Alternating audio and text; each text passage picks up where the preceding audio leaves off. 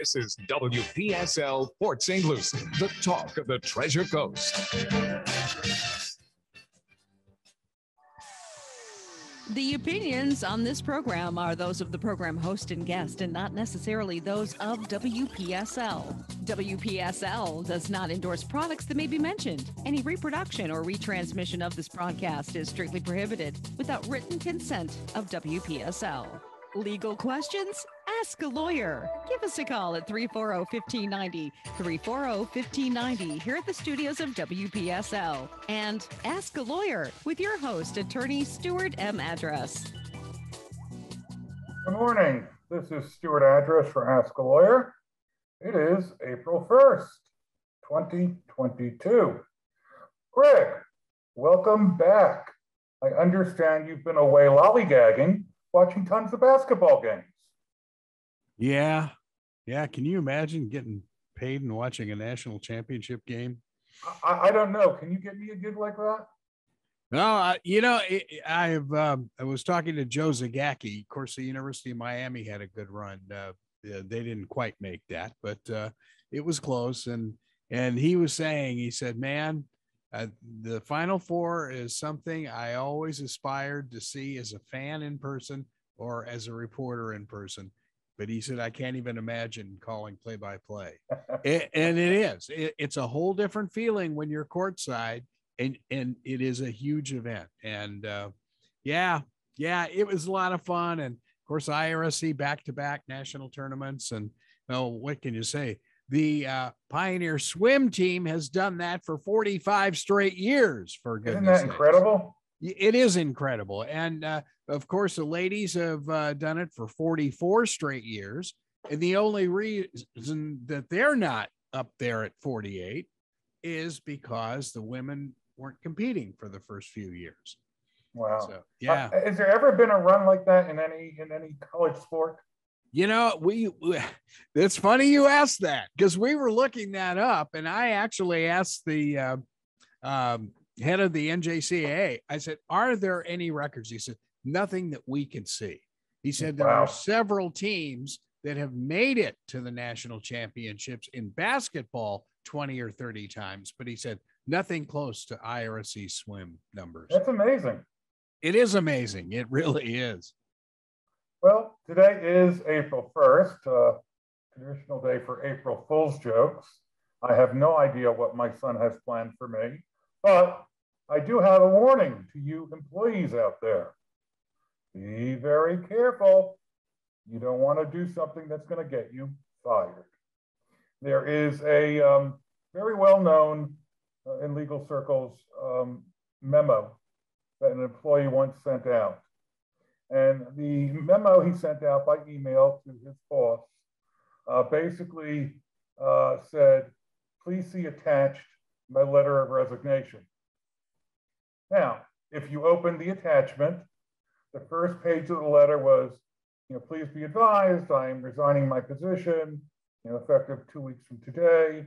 I will certainly do everything I can to assist in an orderly transition, you know, blah, blah, blah, blah, blah. On the second page, it said, April Fools, please don't fire me. Well, unfortunately, it wasn't that the boss had a bad sense of humor. It was that the boss never opened the attachment. He saw the email said, please see attached my letter of resignation, and he forwarded it to the appropriate people. And this employee was now gone. Goodbye. Had a nice run. Couldn't understand why they were being let go.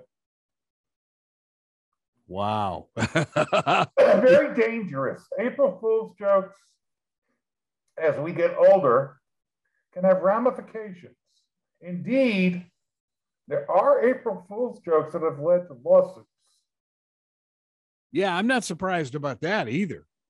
You know, imagine an April Fool's joke that goes wrong and causes an injury to somebody, even if it's just pulling their chair out or what have you. Um, you're going to be sued. Uh, theoretically, you could even be criminally liable.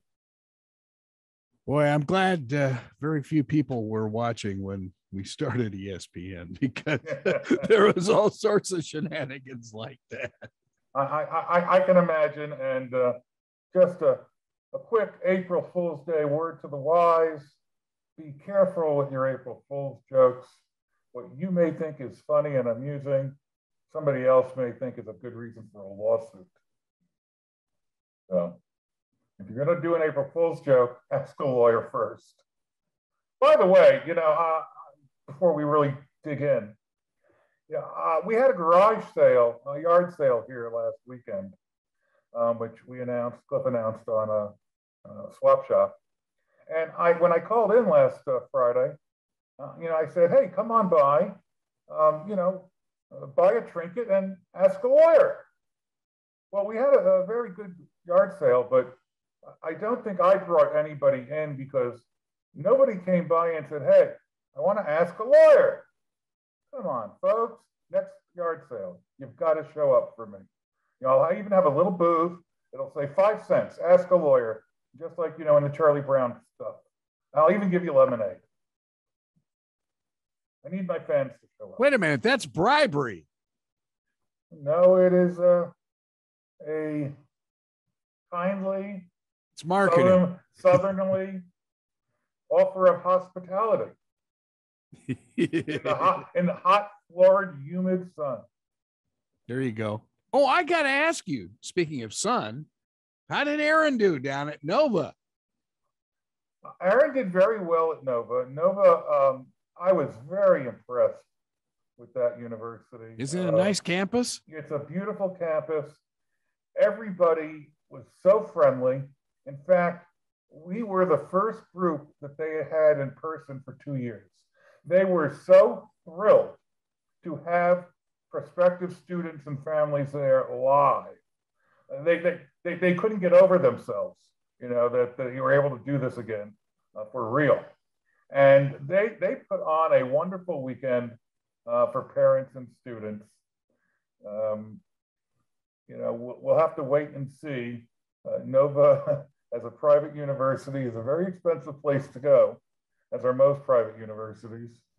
And, you know, unless, uh, you know, the big scholarship comes through, uh, which is, you know, the odds are against anybody, um, he won't be going there.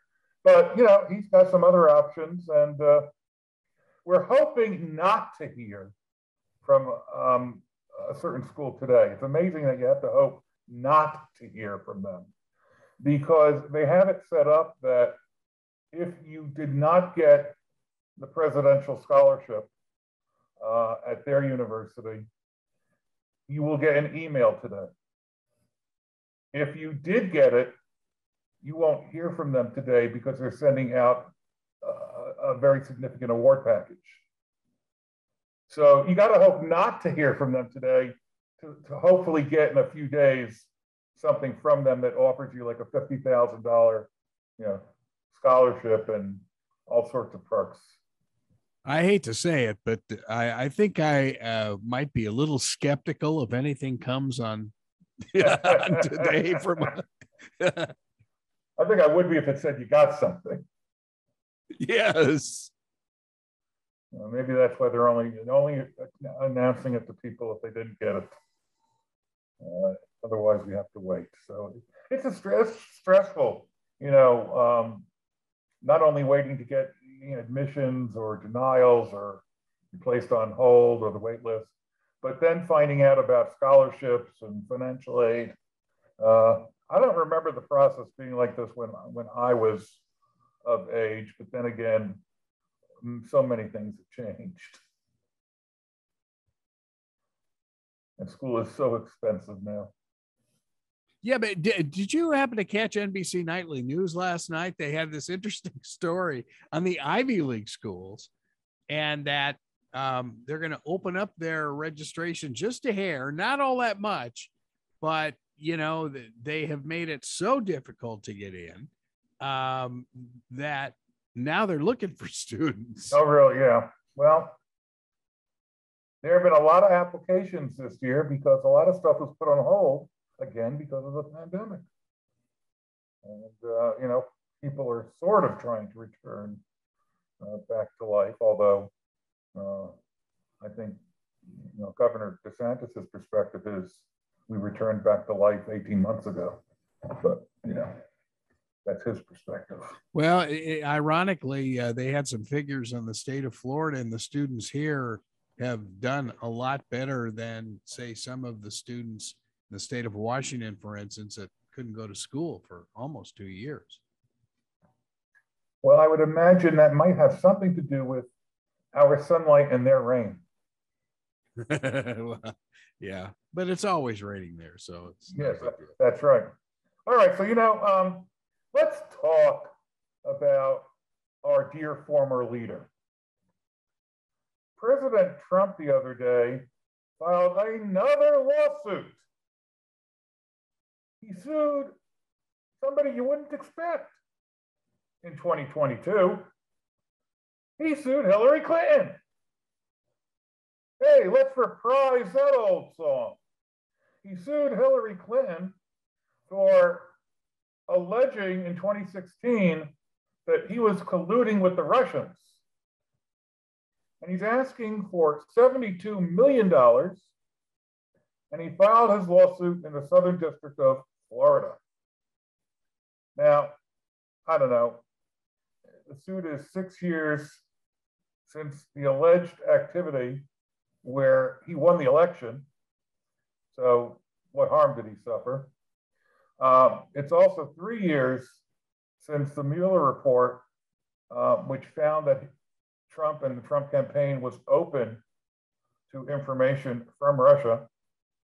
And although you know there are many district court judges in the Southern District of Florida who have been appointed by him or Republican presidents, I have the feeling he's not going to find very much receptivity in the Southern District here.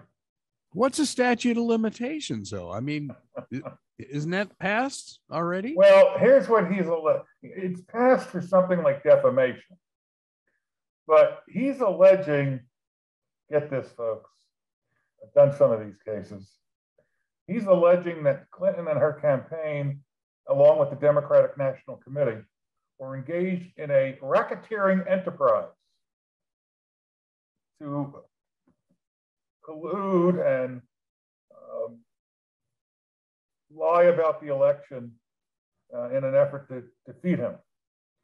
Now, number one, I've done some racketeering suits. Uh, what, what creativity to try to turn this into a RICO action. I can't wait for his lawyers to have to complete the mandatory RICO um, statement. It is going to be very carefully scrutinized by a judge before this lawsuit continues anywhere. Isn't a RICO thing like several pages long?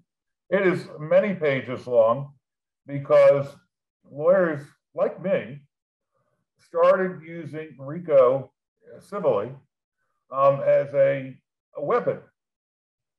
And so they got into this process of carefully screening RICO cases before defendants even had to respond to the complaint. Uh, you had to show good cause to the court for a basis, possible basis for a, a RICO case. Now, you know, I've done a few. Um, they've all been legitimate and they are monsters. But it just seems he, he's claiming that they tried to engage in a fraud to, to steal the election from him. That's 2016. I think I heard something like that in 2020. I mean, it's the same old song, different election. So uh, if he can't, if he can't convince judges in 2020, like over 130 times, um, where he lost the election, what luck is he going to have where he won the election? Uh, I just think that um, Sir Donald is uh, looking to distract people from a lot of other news going on in his orbit these days about the real details um, that are coming out regarding his efforts to um, overturn the election, um, regarding what happened on January 6th, and the amazing miracle seven and a half hours. Now, folks, if you thought 18 and a half missing minutes on tape during Watergate was a big deal, and it was. Seven and a half hours are missing on the White House call logs on January 6th, right during the uprising and the attack on the Capitol and afterwards. Seven and a half hours are missing. And here comes a piece of paper with a question, and we'll see if it's a question or a attack. All right, uh, let's see. Line one, Charlie, you're on. Go. Hey, Charlie, how you doing? So um, I'm not going to argue the point on uh, Mr. Trump. I think he should stop talking about past elections, but Hillary Clinton has never stopped talking about her presidential run and how it was, quote, you could win, but it would still, it's stolen from you. What say you, Stuart? Well, I, I don't really, I haven't heard anything from her or her camp of recent vintage. And um, I don't know how she could say wow. the election was stolen because there's, there's been no evidence that 20, 2016 was stolen. It was just a, a very unexpected result. I think everybody thought that Hillary was going to win, including Donald Trump. But I haven't really heard much about, you know, Trump stealing the election. I mean, he wasn't even in power. He did it very difficult. Well, I'm kind of missing a lot of what you're saying because of our connection. But Hillary Clinton literally has never stopped talking about the fact that the 2016 election was stolen from her. And I don't think it was. Well, I don't know if she really means stolen literally or stolen in the sense that she should have won. Um, I would disagree if she was arguing it was legally stolen, uh, the way Trump has argued it. Um, I, I, would say it was not stolen, but a very unexpected, surprising result um, that was shocking to the system. Because even even even Trump did not really believe that night he was going to win. Listening to your your show. Thank you. And hello, Greg. Okay, take care. take care. Thank you. Um, so you know, I just think that there's a lot of distraction there, and uh, with seven and a half hours of missing call logs, uh, you know, where there's smoke, there's fire, and well, you know, now that RICO whole RICO thing is kind of cool, actually, because Joe Biden could sue Donald Trump for that. I guess so. I don't think that will happen, but I, I guess he could. You know, I, okay, we're going to get off Trump. Uh, let, me, let me tell you, we've talked about this a few times, but and, and particularly, I guess, in today's day, day and age, where people have very extreme opinions, and it's so very difficult to move one person from one opinion to a different opinion. Uh, persuasion is virtually impossible, I think, because most people are talking at the top of their lungs. Um, and life has become very polarizing. Uh, God forbid you say the wrong thing at a fuel pump or in the grocery store or in a restaurant, you never know what's going to happen, whether there's going to be violence or not. So I want to I want to go into a, a, a very famous case where lawyers now routinely talk to jurors and are successful in moving them off of a previously established, firmly held belief. And it happens almost, I, I would say, every day in some court or another in, in, in the country. Um, you know, we lawyers, before we have a trial, have a process called a voir dire, or if you're in the South, voir dire. But uh, that is the process of where we ask questions of prospective jurors to try to root out um, any beliefs that might be antagonistic to our client and give the other side an advantage. Uh, we also try to find people who may be receptive to our own client and keep them in the witness box as jurors. And one of the other things we do generally in trying to find people who will be fair um, is we try to determine how receptive somebody is to changing their opinion when they get new information? Or do they just stick to that, that previously announced opinion? You know, some people will stick to it out of embarrassment. Um, some people will stick to it because they won't process the new information. So when I talk about a case you've all heard of, but the question is, do you really know what happened? And that's the McDonald's hot coffee case. Then we might be able to go into another. What I think most people know is there was a woman who was 79 years old. She was wearing sweatpants, um, went through the drive through window with her grandson to get a cup of coffee. Uh, the grandson stopped so she can place the cup between her legs so that she can use both hands to get the lid off and put in cream and sugar. The cup spills and she gets third degree burns over 6% of her body. And third degree burns are the type where all layers of the skin are burned completely through. It doesn't heal without skin grafting. It's extremely painful and disability results. So that is what most people know. Most people also know that there was a more than a $100 million verdict uh, in her favor for pain and suffering.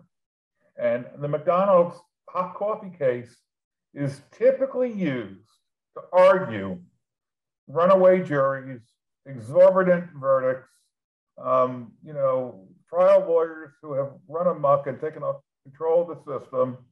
Uh, it, it's all very, very negative. But you know, why should she get $100 million for some burns? All right, you know, I, I can understand that perspective. Um, you know, even though she got third degree burns over 6% of her body. But what don't you know? I'll tell you what the jury in that case heard that you may not know. And this is what lawyers do during voir dire. We'll say, well, if you knew X, would that change your opinion? If you knew Y, would that change your opinion? If you also knew Z, would that change your opinion? And before we can talk about whether your opinion is going to be changed, we've had Richard on line one. Hello, Richard. Go ahead, Richard. Uh, good morning. Um, I recently hi, Richard. a situation where, uh, hello? Yeah, hi, Richard. Go ahead. Yeah, I, I recently had a situation where I want. Richard, your phone is breaking up real bad. Okay, if you can get into a different location here. Is that better? Uh, a little bit, yeah. You must be on a cordless phone then, right? Yes, I am. Okay. Greg, are there any corded phones left? Yeah, that's a good question too. Yeah, yeah. Let's go go ahead, Richard. Let's try. Okay. Uh, again, my wife and I had a contract that come to our house. A couple of them. We got estimates, and uh, I'm not going to mention any names or whatever. But uh, the one guy that we chose said he would do the work, and any referrals that we gave him where people contracted with him, he would give us a $100 benefit. Now, I didn't okay. solicit this from him. He offered it. And I have two witnesses that heard him say that. Now, I had gotten two jobs, you know, friends of mine came over to see the work and contracted with him, and he's just not responding. Now, it's a verbal contract, and I have two witnesses. Is he liable, responsible for that? That is a really good question. Um, for those who may be on Facebook, um, Richard is saying that a contractor offered him $100 incentives for referrals um, to him. and he referred two people to him. Uh, there were two witnesses to the, to the verbal statement, and the contractor won't pay him. Uh, is it enforceable? Yes, it is. Oral contracts are just as enforceable as written ones, just a little bit more difficult because you don't have a writing. Uh, with two witnesses, I would say that you have a pretty good prospect of prevailing um, in a small claim suit. Uh, and that's really, you know, it's very simple. What was that? Exactly what I thought, because I am a retired contractor in the state of Florida. And anytime I offered that, I came through with it. And all it did was get me more work. Exactly. And, and I, I think you would likely prevail, um, you know, in a small claims lawsuit with those witnesses coming in on your behalf. Would that be something that I, I should uh, uh, get a lawyer for, or should I just go to small claims court and do it? Well, given that, given the amount involved, I would recommend you do it yourself. A small claims court is very friendly and receptive um, to the average person. Right. And as long as you go in prepared, you know, with your bullet points and with, you know, um, the witnesses, you know, I, I think that you can handle it just fine on your own. Very good. All right. Thank you for calling. I appreciate it. Thank you very much. Take care. Hey, Stuart, how formal is small claims court?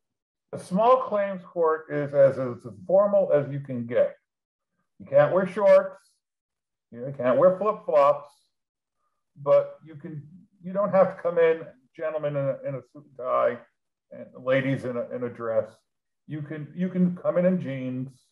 You know, don't come in with a T-shirt that says, uh, you know, F Biden or F Trump or, you know, don't come in with any of those crazy T-shirts. It would be nice if you could have um, a regular button-down shirt, but that's not even required. Okay, when you get there, um, the first thing that happens in any small claims court case is they send you one by one into a room where a lawyer who's volunteered his time will try to mediate the dispute between you and whomever. And if you can come to an agreement, they'll announce the settlement in court. Um, and hopefully the other party will follow through. If not, you come back. Now, if you don't reach an agreement in that room with the attorney, you go back into the courtroom, you uh, tell the judge that we did not reach an agreement, and the judge sends you away and lets you know that you'll get another letter in the mail giving you a court date. So you really have to go two times. Once is for mediation. And if that doesn't work, then you come back another day for trial. You'll have a couple weeks notice. So you'll be able to prepare your materials or whatever it is you want to say.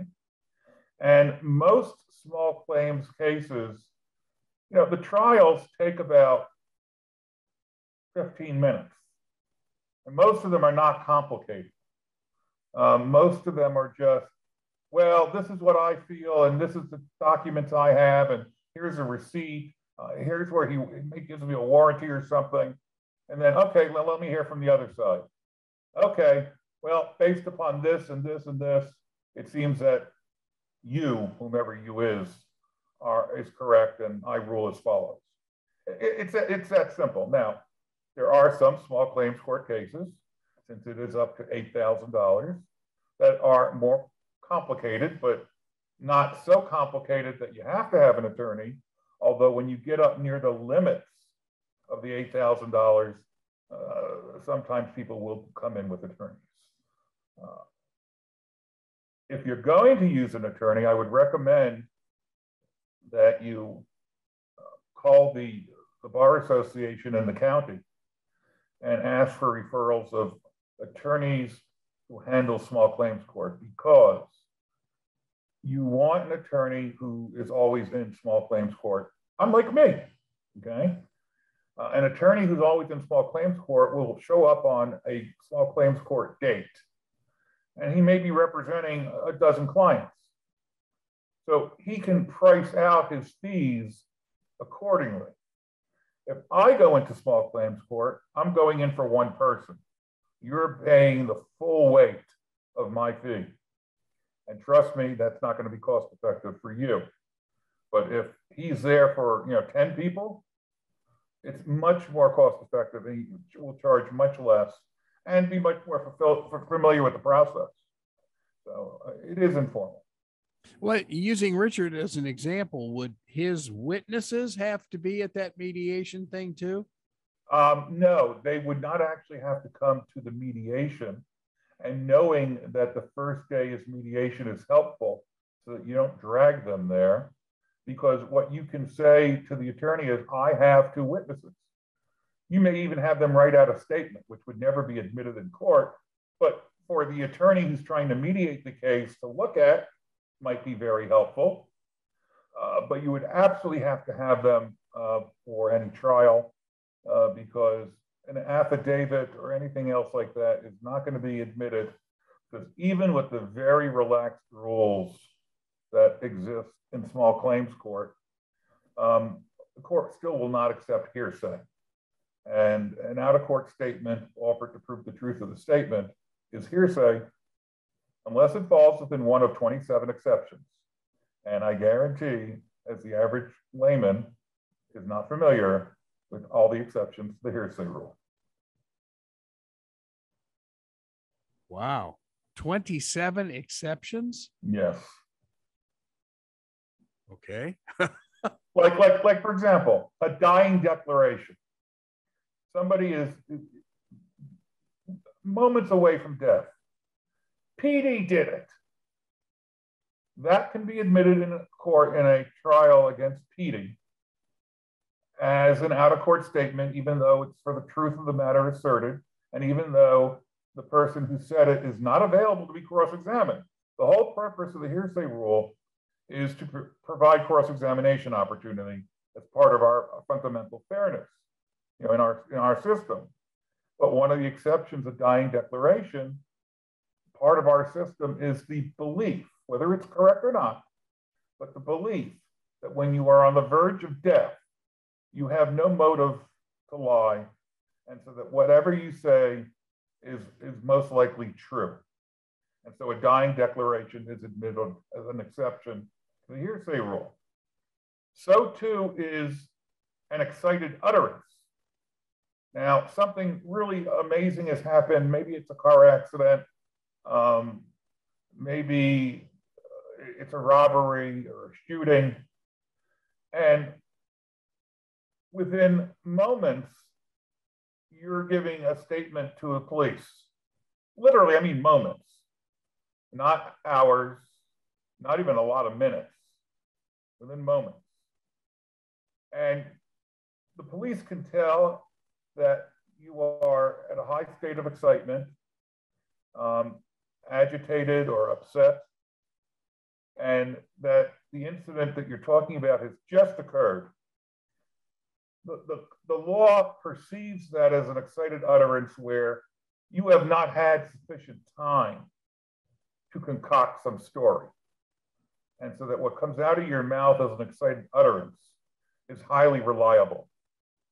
And so if you're not available to testify, and let's say the police officer who heard you say whatever you said goes in and says, well, you know, John Doe told me, objection, hearsay. Then the judge looks at the other attorney and the attorney says, exception, excited utterance. Overruled, you may answer the question. That's how it works. So there'll be an objection.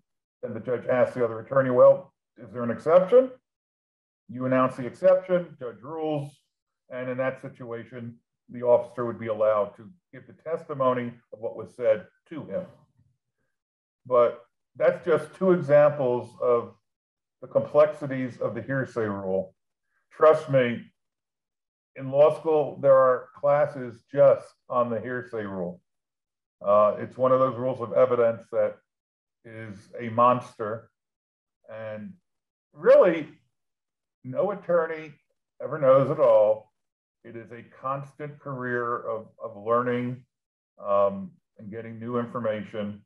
Uh, there, there's just no possible way. You, you can memorize all 27 exceptions, but there's no possible way to instinctively know when a statement is made whether your exception applies with some of the smaller ones. The big ones, everybody knows. So that's how that would work. Uh, in general, yes, you need the witnesses for any trial uh, because the other side has to have the opportunity to cross-examine them. That's part of our system of, of fairness.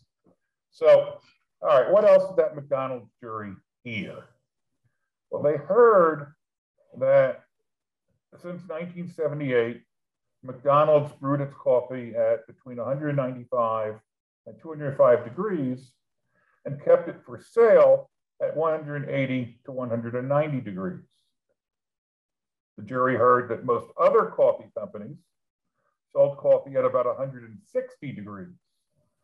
At that point, 160, it would take 20 seconds for third degree burns if there was a spill. At 180 to 190, it takes about three seconds. So if you spill it at that temperature, you're going to get seriously burned. All right, so now you're in voir dire. The attorney says, All right, for those of you who raised your hand when I asked if you thought McDonald's jury, uh, the verdict was excessive. If you now had this information, would any of you perhaps reconsider? And maybe no hands go down yet. So the, the lawyer who's doing voir dire would go, okay, here's some more information the jury had.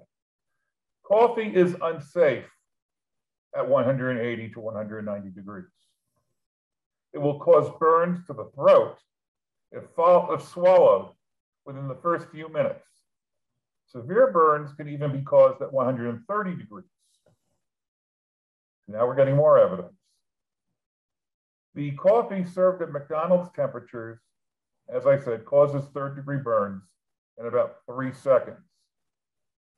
So now you go back to the voir dire and let's say the group of people who held up their hands and thought that McDonald's verdict was excessive.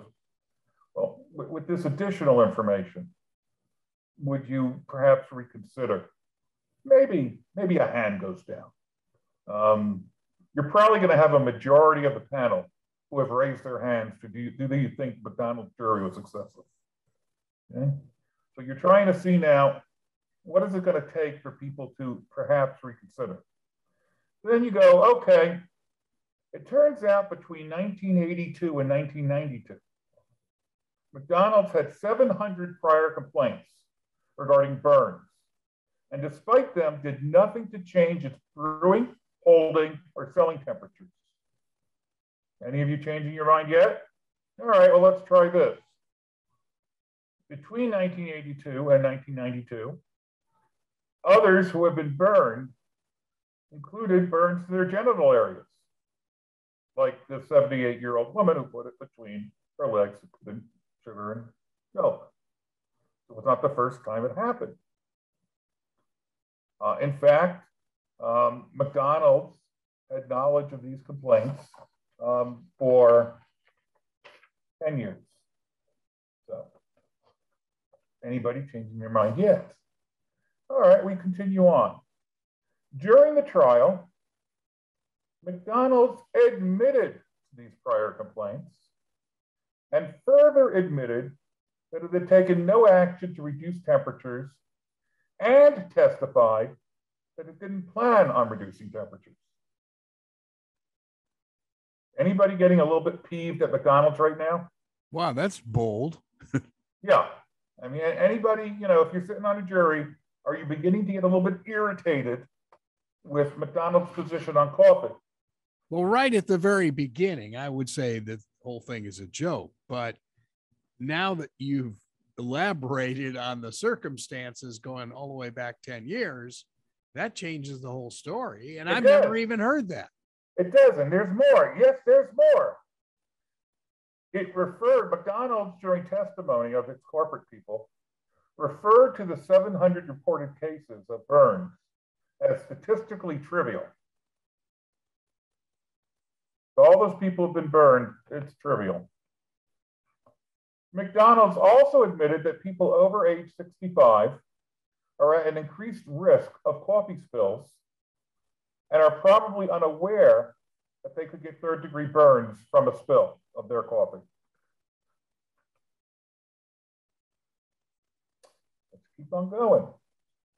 Uh, one McDonald's corporate employee testified the coffee sold at that temperature is not fit for human consumption. All right, panel of voir dire people.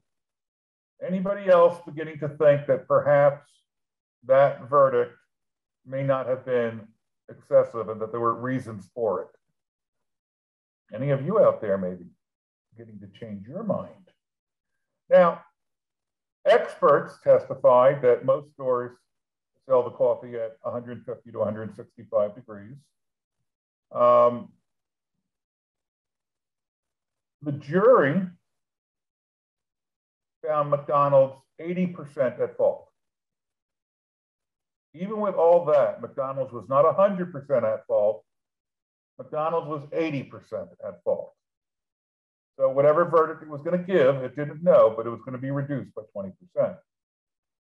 They awarded compensatory damages of $200,000. You hear that, folks? $200,000, not millions. What they awarded in punitive damages was $2.7 million.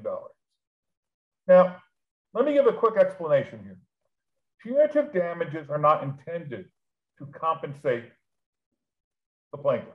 The plaintiff gets the money, but they're not intended as compensation. It's intended as punishment for the other party who engaged in the wrongful conduct. It's designed to make that party think twice about continuing this practice and cause it to modify its behavior. So, in that context, is $2.7 million excessive? Well, if you say it's excessive, let me ask you this. Would you still say it's excessive if you learn that it represented only two days of coffee sales in the United States for McDonald's? I mean, it's a punishment, but is it really a punishment? Not 2% of their earnings in the US, 2% of coffee sales for two days. Two days. Wow. so, in that context of trying to punish McDonald's, is the $2.7 million awarded to the plaintiff really that unreasonable? And this is what we would ask again on a voir dire panel and see if people are beginning to change their minds. Now, the judge referred to McDonald's conduct as reckless, callous, and willful. Um, by the way, given the plaintiff's 20% at fault, the compensatory damages were reduced to 160,000 and punitive damages were reduced not by 20% because that 20% applies to compensatory. A judge has a lot of leeway in what it adds to punitive or takes away. This judge um, reduced punitive damages from 2.7 million to $385,000. $385,000. How much were her medical bills?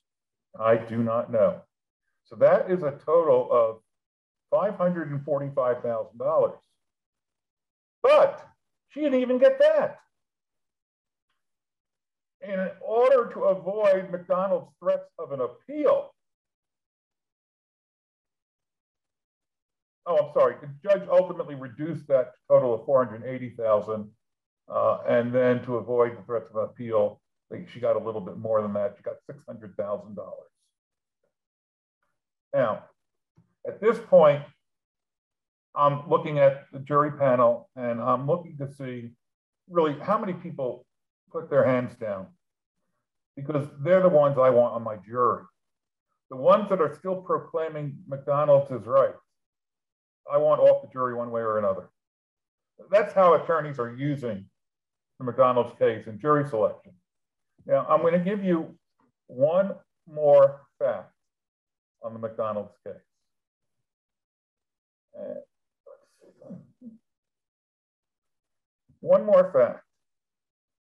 In terms of how much the plaintiff received, would you say it's unreasonable if you learned that this 79 year old grandmother's labia were melted together?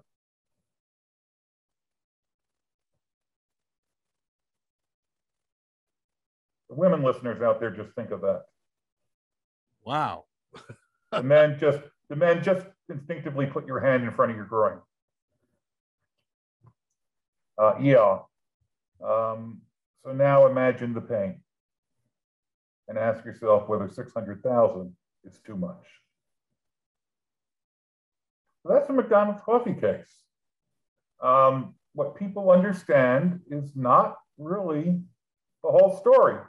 And what people hear of any case is never the whole story. Unless you have sat and watched the trial every day, let's say if it's on TV, nonstop, you don't know what the jury heard. You don't know everything the jury heard. What you know is what you read in the paper, what you saw on TV in a, a two minute snippet. Um, you have the basics, but you never have the information that the jury has and on which it bases its decision, usually after many hours of deliberations. Now, I'm not saying all jury verdicts are correct. Uh, I've had a few of my own that I thought were very, very incorrect um, and very unfair. Uh, but, you know, our system, which is imperfect, was established in a way to try to make it as fair as possible. And, you know, I've had clients who lost a hearing or, or lost a trial, and where I was surprised that the jury went the other way. And where I'm expecting when we get out of the courtroom, the clients would start yelling at me. And in fact, that's not what happens. Very often, my clients, uh, you know, will, will say, thank you. I say, what are you thanking me for? You know, I mean, I, I didn't get you what we set out to get you. And the answer is always the same. Really, it is. And for other attorneys, friends of mine, it's always the same. It's at least I had an opportunity to be heard. And that's what people really want. They want an opportunity to be heard, to have their feelings, their opinions considered and, and fairly evaluated. And I dare say that if we would do that in, in ordinary life, um, we might not be as polarized as we are right now. You know, if somebody who had a different opinion, uh, a different political opinion, you know, was at least heard, and if they in turn would hear your perspective, maybe neither of you would change each other's minds, but at least you've exchanged ideas. And that's really what the whole First Amendment was all about the exchange of ideas, uh, not necessarily the persuasion of the convincing. Uh, I don't know. I, I think we are, before we go into another topic, I'm just going to talk a little bit about this in general. I, think we are at a very critical tipping point in our nation's history where there are two paths in front of us. And as I have often said to my son, there are decisions in life. You can go down one path, and if you turn and decide it's wrong, you can come on back. But there are decisions where you travel down a path and you can never come back. And we are, I think, at a tipping point between democracy and autocracy. And if we choose autocracy because it's something different, maybe it'll work better. we may never come back to democracy. And, you know, American democracy is different than other democracies in the Western world. Uh, it is very different. It, even back in the late 1700s, you know, when we started it, uh, you know, various French philosophers called it the grand American experiment because it was so unusual. And although I suspect nobody will because you're not in college, if you were to go back and read the Federalist Papers or read the French philosopher Alexis de Tocqueville, uh, his book, Democracy in America, from his perspective as a Frenchman, uh, his perspective of this new uh, American democracy, this new constitution that they've established. Uh, it's fascinating that even back in the late 1700s, the world looked at us as a fascinating experiment. Would it succeed? Would it fail? Would George Washington become king? Or would he lay down his sword and transfer power peacefully to the next person?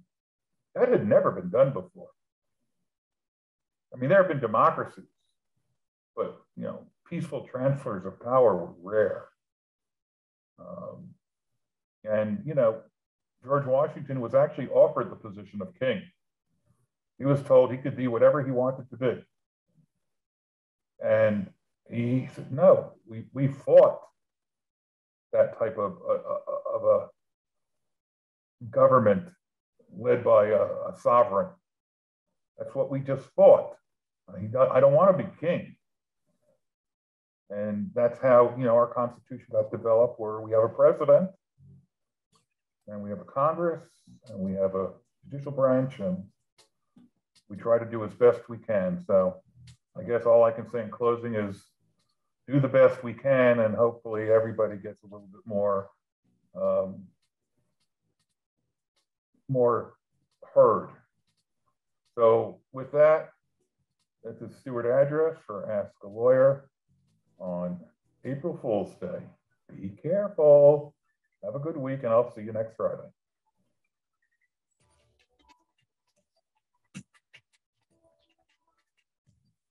You've been listening to Ask a Lawyer right here on WPSL, Port St. Lucie, WSTU, Stuart.